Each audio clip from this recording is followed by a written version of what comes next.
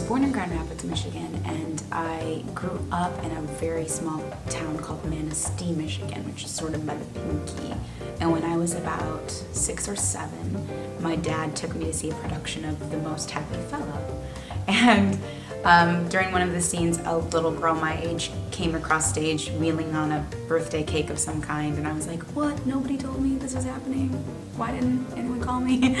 and so I was just kind of shocked that people were doing this, and I, um, when I realized that people were doing it as their jobs, everyday grown-up jobs, I was just totally sold. Yes, Twilight.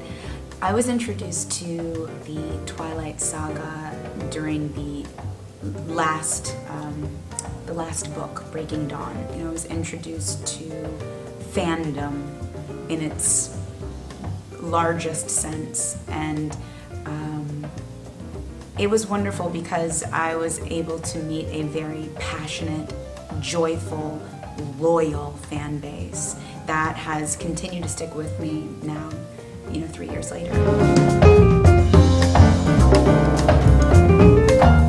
Um, so I was first introduced to the script for, by the way, Meet Vera Stark um, when they were preparing for the New York production, and I was blown away by it because I don't think that people are writing for black actresses in this way.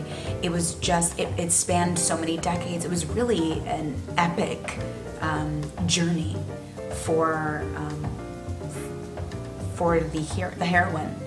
And uh, it got me so excited. And um, I think that this script really uncovers um,